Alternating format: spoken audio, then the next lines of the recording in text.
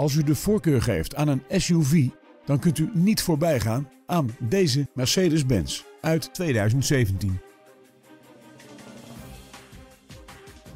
Deze SUV is uitgerust met een dieselmotor en een handgeschakelde 6-versnellingsbak. U beschikt in deze auto over een achteruitrijcamera, een parkeerassistent en full-map navigatie. Deze occasion valt onder het Ster Occasion 12 Occasion label, is grondig geïnspecteerd en wordt aan u geleverd met nationale autopas.